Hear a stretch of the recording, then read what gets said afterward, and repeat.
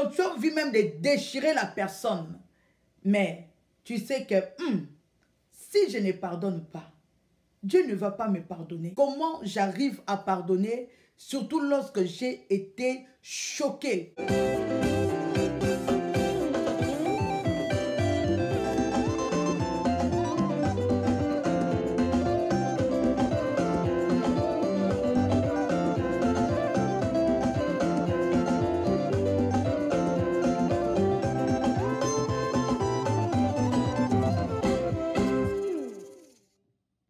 De Dieu, shalom la famille, j'espère que vous allez tous bien par la grâce de Dieu. Je suis la servante de Dieu Lydie Mombata et bienvenue sur la chaîne Lydie Mombata officielle.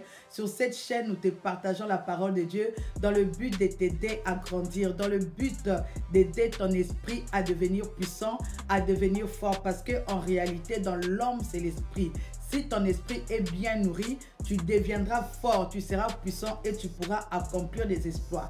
Mais si ton esprit n'est pas bien nourri, bien aimé, tu seras faible. Comme il est écrit que mon peuple est détruit faute de connaissances, bien aimé, lorsque tu n'as pas la connaissance, ton esprit est faible et tu seras détruit. Pour dire que le succès et la réussite dans ta vie, bien aimé, dépend de la connaissance de la parole de Dieu et de ta manière d'appliquer cette parole dans ta vie. Si tu veux réussir, tu veux connaître la parole de Dieu, tu es au bon endroit. Ce qui te reste à faire, c'est juste de t'abonner et d'appuyer sur la cloche de la notification pour ne pas rater nos vidéos lorsque elles sont postées. Aujourd'hui, nous allons parler du pardon parce que le pardon est un thème très important. Au jour d'aujourd'hui, bien aimé, les gens ont du mal à se pardonner les uns les autres. C'est pourquoi nous voyons que la méchanceté est accrue dans ce monde bien-aimé. Les gens n'arrivent plus à se pardonner. Les familles sont déchirées. Les mariages sont déchirés. Les hommes n'arrivent plus à pardonner leurs femmes et les femmes n'arrivent plus à pardonner leurs hommes. Et pourtant, ils ont dit, lorsqu'ils sont partis devant le Seigneur, ils ont dit que ce serait pour le meilleur et pour le pire. Malheureusement, on ne vit pas deux fois la réalité et dans nos foyers, dans nos familles et du coup, les gens sont devenus méchants. C'est pourquoi vous voyez même qu'il y a le, ces phénomènes de poison. On peut empoisonner facilement tout simplement à cause de la méchanceté. Il y a certaines personnes qui sont mortes. Pourquoi? Parce qu'ils ont fait du mal aux autres. Et ces gens-là n'ont pas pu supporter, n'ont pas pu pardonner. Et fin de fin, ils ont mis le poison, ils ont tué, ils ont lapidé ou même ils les ont vraiment sauvagement abattus. Et pourtant, le pardon est très important. Tu dois réussir à pardonner. Sur cette vidéo, je veux vous dire pourquoi vous devez pardonner et comment le faire. Matthieu 18, 21 à 35, bien aimé, si vous lisez ce parabole, Pierre, c'était un homme qui aimait poser des questions à Jésus. Il a posé la question à Jésus pour savoir combien de fois devons-nous pardonner. Est-ce que nous devons pardonner sept fois? Jésus-Christ lui dit, je ne dis pas sept fois. On doit pardonner 70 fois 7, c'est-à-dire 70 fois 7. Lorsque vous faites le calcul, ça te donne 490 fois ou 490 fois en une journée. Or, Jésus-Christ a poursuivi en racontant ces paraboles. Il dit qu'il y avait un maître avec ses serviteurs. Et ses serviteurs, lorsqu'ils faisaient des comptes, ils ont remarqué qu'il y avait un de ses serviteurs qui lui devait 10 000 talents. Et le serviteur n'était pas en mesure de payer. Alors, le maître a ordonné à ce que qu'on puisse vendre le serviteur avec sa femme, y compris ses enfants. Le serviteur a supplié son maître. Il a dit, s'il te plaît maître, je vais te payer ton argent, mais donne-moi le temps. Le maître a eu compassion de lui, il a libéré. Alléluia. Mais lui maintenant, au contraire, il a rencontré une personne qui ne devait que 100 deniers, qui était vachement très inférieur à ce qu'il devait à son maître. Le maître l'a pardonné, mais lui, à son tour, il s'est rencontré, il a étranglé cette personne, il lui a obligé de lui payer sa dette. La personne l'a supplié en disant, Aie pitié de moi, aie pitié de moi, je te payerai ta dette, aie pitié de moi. Le monsieur a refusé. Qu'est-ce qu'il a fait? Il a jeté en prison. Les gens qui étaient là, bien aimés, ils étaient choqués. Ils sont allés raconter cela à son maître en disant, mais cet homme à qui tu as pardonné, cet homme a refusé de pardonner à cette personne qui lui devait 10 deniers. Il a jeté en prison jusqu'à ce que cette personne-là payé sa dette. Et le maître qui a entendu ça, il a appelé ses serviteurs. Il dit, mais toi, tu m'as demandé pardon. Pourquoi toi, tu n'as pas pu pardonner l'autre? Alors, qu'est-ce qu'il a fait? Il a aussi jeté en prison. Et le Seigneur Jésus-Christ a dit, voici comment mon Père traitera cette génération. Celui qui ne pardonnera pas avec son cœur son prochain, Dieu ne le pardonnera pas non plus. Bien aimé, ça c'est grave. Tu vois pourquoi tu dois pardonner? Parce que si tu ne pardonnes pas, Dieu ne te pardonnera pas. Le Seigneur Jésus-Christ, lorsqu'il nous a montré comment prier notre Père, il a dit, pardonne-nous nos offenses, comme nous aussi, nous pardonnons à ceux qui nous ont offensés. Pour que Dieu puisse nous pardonner, nous, nous devons pardonner comme Dieu le fait. Lorsque nous demandons pardon à Dieu, Dieu nous pardonne, bien aimé. Il oublie il efface nos transgressions. Mais nous, pour pardonner, des fois, on a ce langage qui dit pardonner, ce n'est pas oublier. Bien aimé, lorsque tu as déjà ce genre de langage, est-ce que tu peux dire que tu as pardonné avec ton cœur? Parce que dans ce verset, le Seigneur Jésus-Christ nous demande de pardonner de tout notre cœur. Si tu as des personnes à qui tu n'as jamais pardonné, sache que tes péchés ne sont pas pardonnés. Et pourtant, la parole de Dieu nous dit que Dieu n'exorce pas les pécheurs. Lorsque tes péchés ne sont pas pardonnés, il ne faut pas te plaindre lorsque tes prières aussi ne seront pas exorcées. Ce passage, bien aimé, nous montre vraiment comment nous, nous nous comportons avec Dieu. Combien de fois nous péchons pendant la journée? Combien de fois, bien aimé, la même journée, tu vas mentir. La même journée, tu vas frauder. La même journée, tu vas critiquer ton prochain. La même journée, tu vas calomnier. Mais lorsque tu pries, tu vas vraiment désirer à ce que Dieu puisse te pardonner. Mais deux fois, une personne te blesse une seule fois. Tu dis que pardonner, ce n'est pas oublier. Tu dis que non, moi avec cette personne, plus de contact. Je veux commencer à le regarder de loin. Mais tu oublies que toi aussi, tous les jours tu pêches. Dieu nous a promis, bien aimé, de nous traiter comme nous nous traitons nos prochains. À chaque fois que le prochain nous fait du mal, on a du mal à pardonner. On s'est dit que nous allons plus pardonner à cette personne. On s'est dit que nous allons plus adresser la parole à cette personne. Mais tu oublies que la personne est aussi humaine. Il peut peut-être passer par des moments difficiles. Tu vas lui parler comme ça, bien aimé, la personne te répond mal. Et du coup, tu gardes ça tu gardes la dent contre cette personne, mais tu ne sais pas, la personne est en train de traverser des moments très difficiles. Peut-être cette personne a envie de rester seule, mais lorsqu'il y a trop de dérangements, la personne peut craquer, peut mal te répondre, bien aimé, mais toi tu te dis que non, moi je ne veux plus la pardonner. Tu vois comment elle m'a adressé la parole, mais tu oublies que toi-même là, jusqu'aujourd'hui, tu sors avec le mari de ta copine. Jusqu'aujourd'hui, tu sors avec le mari peut-être de ta tante. Ça, tu oublies. De fois même, tu demandes pardon à Dieu. Après, tu dis à Dieu, Seigneur, je n'arrive pas. Tu continues dans ton iniquité.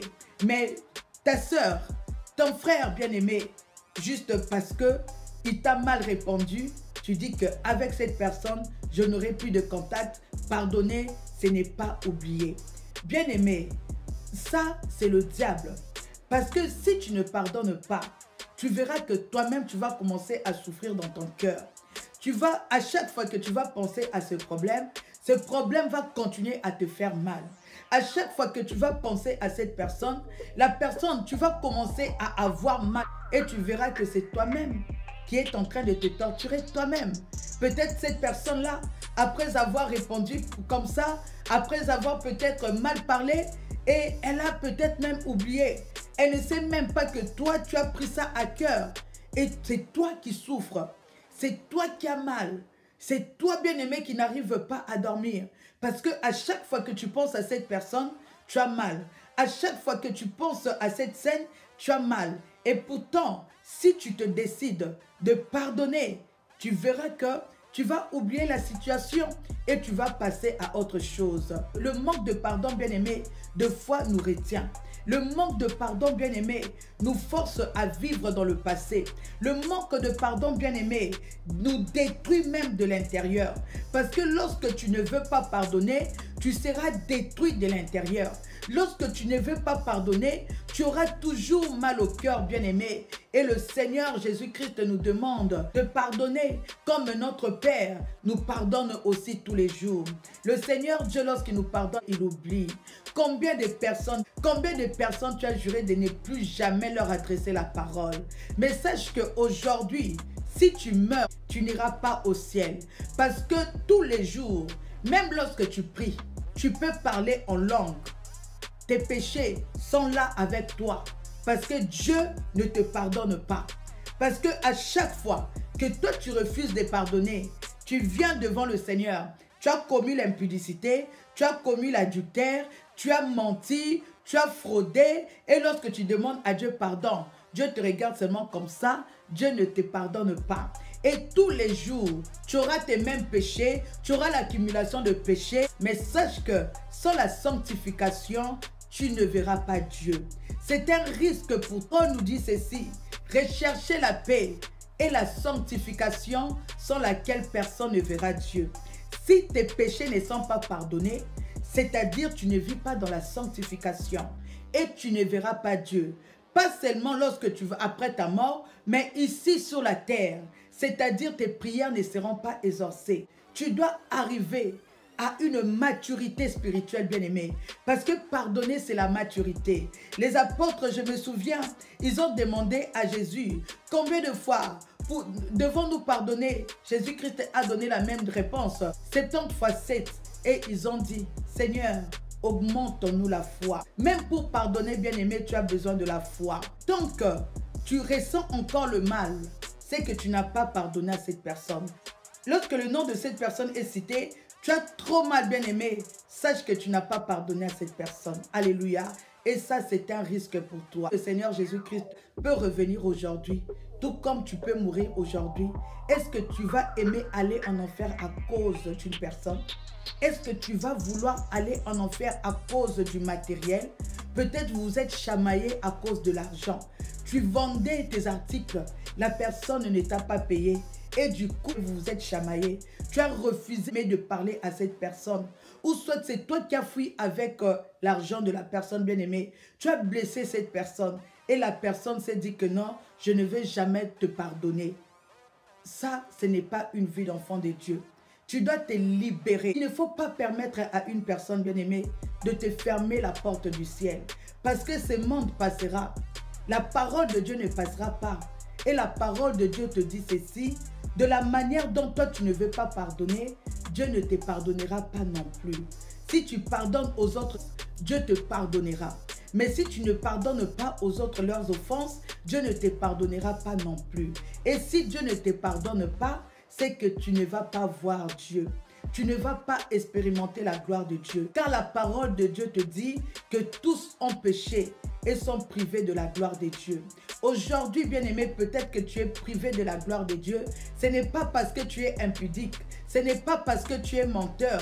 C'est juste que parce que tu as refusé de pardonner quelqu'un jusqu'aujourd'hui. Tu as refusé de pardonner ton père jusqu'aujourd'hui. Tu as refusé de pardonner à ta maman. Tu as refusé de pardonner à tes demi-frères, tes demi-sœurs. Tu as refusé de pardonner à ta copine bien-aimée qui t'a volé ton mari. Bien-aimé, tout ce que nous avons sur la terre passera notre éternité est plus important que ce que nous vivons sur la terre, bien-aimé. Et ces cœurs-là de pardonner. Si tu n'arrives pas pris, demande à Dieu de t'augmenter la foi.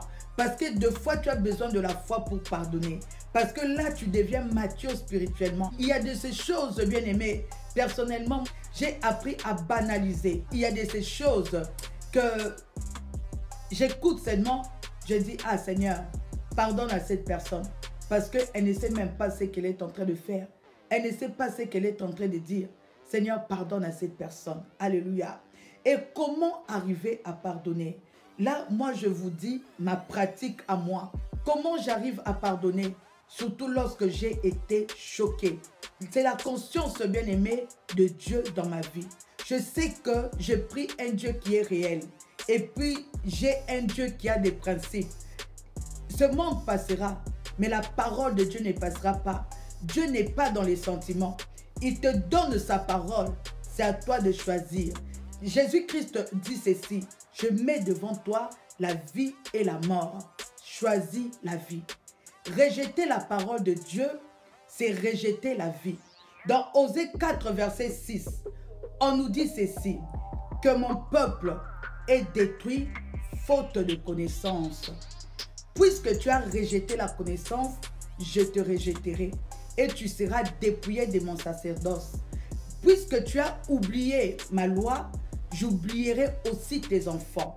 Alors, comme j'ai la conscience de cette parole, je sais que Dieu n'est pas dans les sentiments. Donc, si je rejette sa parole, il va me rejeter. Parce que je connais déjà la parole. Lorsque tu ne connais pas, bien aimé, tu es détruit. Mais lorsque tu connais et que tu rejettes, Dieu te rejette. Alléluia. Donc, premièrement, c'est la conscience de la parole de Dieu. C'est la conscience de ce que Dieu a dit. Tu sais que Dieu dit ceci, que si tu ne pardonnes pas, je ne te pardonnerai pas non plus. Alors si tu rejettes cette parole, tu dis que pardonner, ce n'est pas oublier. Tu dis que moi, je veux pardonner, mais je ne pardonnerai pas avec mon cœur. Donc, euh, sache que Dieu ne te pardonnera pas non plus. Et puis, puisque tu as rejeté cette parole, le Seigneur te rejettera. Et je n'aime pas être rejeté par le Seigneur. J'aime avoir des combats avec le diable. J'aime affronter Lucifer. J'aime affronter les sirènes. Mais le Seigneur Jésus-Christ, je ne saurais pas l'affronter parce qu'il est tout puissant. Parce qu'il est le grand roi. Alléluia. Il est le tout puissant bien-aimé. Et je me dis que si j'ai un problème avec mon Seigneur, qui va combattre pour moi? Si j'ai un problème avec mon Seigneur, qui va me donner la victoire? Lorsque Lucifer viendra avec ses sirènes et que je me rends compte que le Seigneur Jésus-Christ m'a rejeté, comment est-ce que j'aurai la victoire? Parce que normalement, nous chassons les démons au nom puissant du Seigneur Jésus. Alors je dois être soumise à Dieu, car il dit dans sa parole, soumettez-vous à Dieu et résistez au diable, et il fuira loin de vous. Donc si je ne veux pas me soumettre à Dieu, je ne saurais pas utiliser le nom de Jésus-Christ dans mes combats spirituels. C'est pourquoi j'aime m'attacher au Seigneur Jésus, j'aime être soumise au Seigneur Jésus, ça me donnera la victoire. Lorsque je veux me lever, je vais chasser les démons, les démons vont m'obéir. Alléluia. Premièrement, lorsque tu as cette conscience-là, tu sais que en rejetant la parole, Dieu va te rejeter. Ah, là, ça te donne déjà à réfléchir. Et puis, deuxièmement, tu dois prier. Comment est-ce que moi je fais? Je prie à haute voix. Je déclare le pardon à haute voix. J'entre dans ma chambre, bien-aimée. Je commence à parler. Je prie, surtout lorsque ça m'a fait très mal. Parce qu'il y a de ces choses, bien-aimées, que ça ne choque pas. Tu es juste fâché, après tu laisses passer, tu passes à autre chose parce que ça ne t'a pas choqué. Mais il y a de ces problèmes-là, ça te choque tellement. Ça te choque. Donc tu as envie même de déchirer la personne.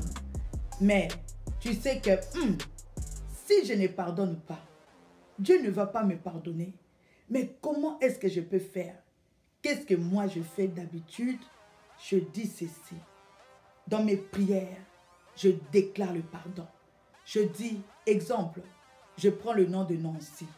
Je dis au nom de Jésus-Christ, je pardonne à Nancy au nom de Jésus. Je pardonne à Nancy au nom de Jésus-Christ. Je pardonne à Juliette au nom de Jésus.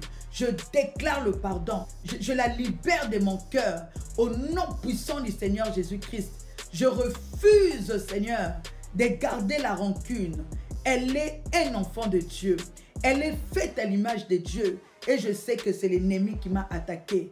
Elle avait certainement la porte ouverte. L'ennemi l'a utilisé pour l'attaquer. Alors mon combat, ce n'est pas contre la chair et le sang. Ce n'est pas contre Nancy. Mon combat, ce n'est pas contre mon mari. Mon combat, ce n'est pas contre mon frère. Mais mon combat, c'est contre les principautés, les dominations, les princes de ce monde dans le lieu céleste, bien-aimé. Parce que la réalité est que nous, notre combat, bien-aimé, ce n'est pas contre la chair et le sang.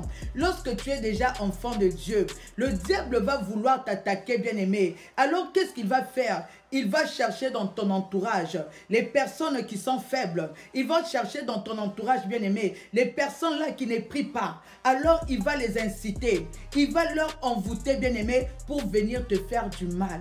Si tu comprends ces principes, si tu comprends que ton combat, ce n'est pas contre ta soeur, ton combat, c'est contre les esprits, c'est contre les principautés, c'est contre les dominations bien-aimées, tu vas commencer à pardonner.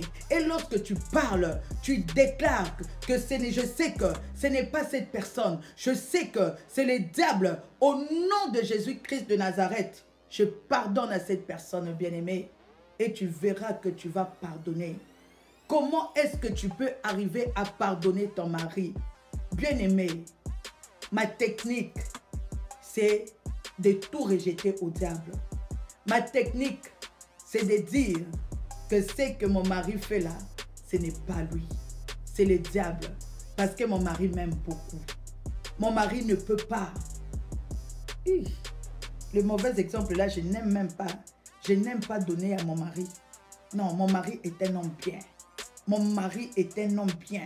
C'est un homme qui m'aime beaucoup. Pourquoi je peux donner de l'exemple? Bon, je prends ton mari. Prenons seulement l'exemple de ton mari, c'est pas grave. Alléluia.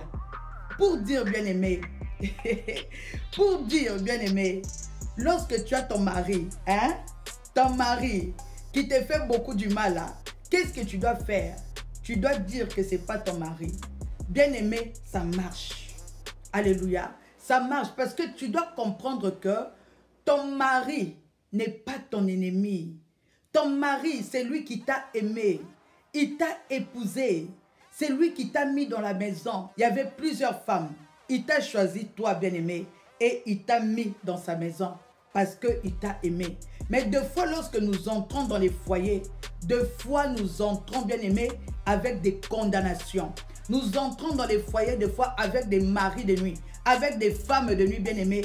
Et de fois, ce sont ces esprits bien-aimés qui nous attaquent. Et du coup, tu vois que ton mari commence à te maltraiter. Il ne faut même pas paniquer. Lorsque ton mari te, te traite mal, bénis-le. Tu verras que l'ennemi va fuir. Donc, au lieu de commencer à te fâcher, à l'insulter bien-aimé, qu'est-ce que tu vas faire? Bénis ton mari. Comment tu vas le faire? Vous venez de vous chamailler. Tu peux sortir même dehors. Fais comme si tu vas jeter tes poubelles et tu vas commencer à parler. Tu vas dire, je sais que mon mari ne peut pas me dire ça. Si il m'a dit ça, c'est parce que le diable est en train de m'attaquer. Mais c'est le diable, tu es vaincu au nom de Jésus-Christ. Tu vois ce qui est arrivé là? Je pardonne à mon mari. Mon mari est un monsieur bien. Mon mari est un monsieur qui m'aime beaucoup. Mon mari, c'est un homme bien. C'est un serviteur de Dieu. Bien aimé, même s'il ne prie pas encore, tu dois commencer déjà à prophétiser qu'il est serviteur de Dieu. Tu dis que mon mari est un serviteur de Dieu. Mon mari est une personne élevée. Mon mari est un grand homme. Alors je bénis. Commence à prier pour ton mari. Dis Seigneur, papa, bénis mon foyer. Bénis mon mari, Seigneur. Protège mon mari des ruses du diable. Protège mon mari, Seigneur, de l'attaque de l'ennemi. Parce que je l'aime, Seigneur. J'aime mon mari et mon mari m'aime. Alors le diable, tu n'auras pas accès à ma vie. Tu n'auras plus accès à mon mari. Au nom puissant du Seigneur Jésus. Qu'il soit béni, Seigneur. Que son travail, qu'il puisse avoir la promotion. Bien-aimé, commence à bénir ton mari. Commence à parler de bien de ton mari. Parce que là, tu es dans un combat spirituel. Et tu verras au fur et à mesure, lorsque tu continues avec ça, le mari, même le diable va se dire, mais là-bas, on ne peut plus attaquer. Parce que à chaque fois qu'on attaque son mari, elle pardonne directement, elle bénit son mari, elle prie pour son mari. Donc, une attaque veut dire une prière, suivie des bénédictions. Des attaques, deux prières, suivi des bénédictions. Bien-aimé, le diable ne va pas vouloir que ton mari soit béni. Alors qu'est-ce qu'il va faire? Il va te laisser tomber. Mais si à chaque fois que le mari te fait du mal, tu ne fais qu'encaisser, encaisser, vous vous chamaillez, vous vous chamaillez bien aimé, vous donnez accès à l'ennemi. Je viendrai parler de ça encore en profondeur parce que beaucoup de femmes ont fait beaucoup de dégâts dans leur foyer tout simplement par manque de connaissances. Lorsque tu pries constamment pour la personne qui t'a fait du mal, tu arriveras à pardonner à cette personne bien-aimée. Tu vas oublier, des fois même, tu vas même l'aimer. Et des fois, vous devez aussi parler avec cette personne. Tu dois savoir pourquoi elle a agi comme ça. Peut-être qu'elle était dans des difficultés, peut-être qu'elle était dans la dépression, peut-être que la personne était stressée, bien aimée, et elle avait mal agi. Et essayer des fois aussi le dialogue, c'est bien.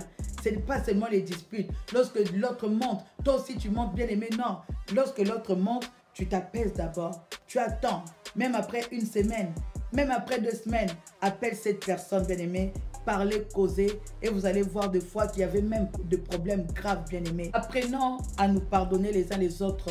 Comme ça, Dieu va nous pardonner et nous allons hériter le royaume des cieux. Si vous n'êtes pas encore abonné, abonnez-vous sur cette chaîne Lydie Mombata officielle. Vous serez béni, béni, béni.